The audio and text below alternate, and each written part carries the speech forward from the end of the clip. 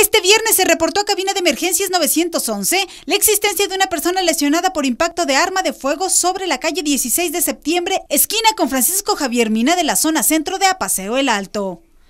Al llegar al lugar, elementos del mando único solo tuvieron a la vista el vehículo de la marca Volkswagen línea Jetta color blanco, el cual cuenta con impactos de arma de fuego en el parabrisas. Por su parte, agentes de investigación criminal acudieron al hospital comunitario donde se localizó a Juan Francisco N., de 26 años de edad, quien refirió a los agentes que él circulaba su vehículo cuando desde una camioneta Cherokee le realizaron disparos, mismo que presenta un balazo en la espalda baja sin salida, y dijo que no se pudo percatar quiénes y cuántos eran los agresores.